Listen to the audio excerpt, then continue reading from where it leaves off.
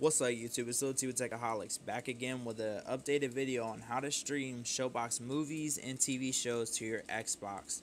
So the way that you would do this is you would open up your Play Store, you would look up an app called Bubble UPnP, and once whenever it's downloaded, you just open it.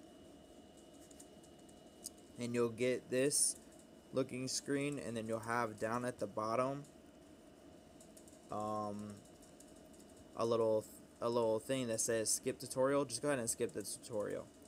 So the way you connect it to your Xbox is you'll see this up here in the corner. You just click on it and you'll see local renderer. You just change that to your Xbox 360 now you'll get this. Now from this screen sorry I didn't mean to do that. Now from this screen you'll just go into your um, your Showbox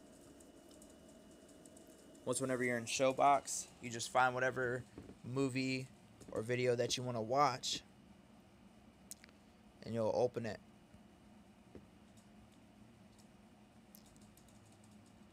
And you'll get this. So note that I highly recommend doing it in the lowest format.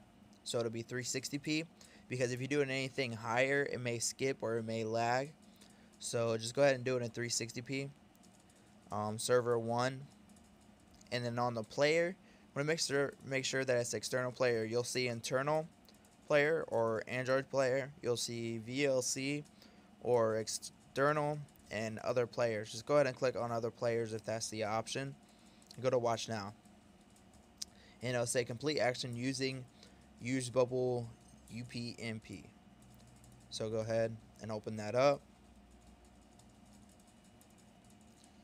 So once whenever it gets finished loading, you'll see it pop up on your Xbox. So let me go ahead and switch to my camera and show you that it'll pop up.